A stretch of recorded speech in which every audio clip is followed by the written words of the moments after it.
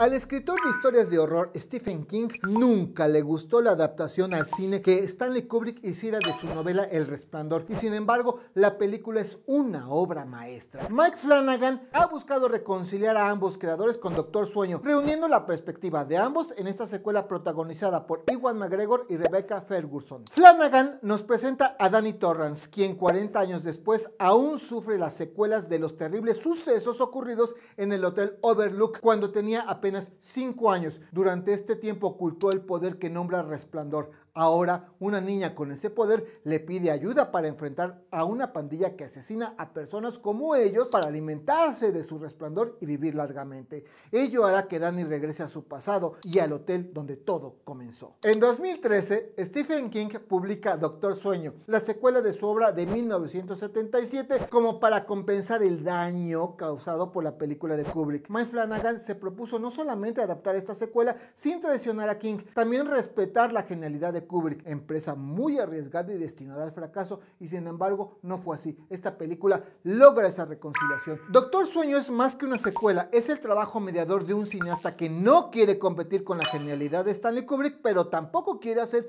un cine de horror superficial al estilo Hollywood y propio de la literatura de Stephen King. Flanagan logró unir el yin con el yang sin mezclarlos, pero sí Por ello, esta película recibe un 8 de calificación.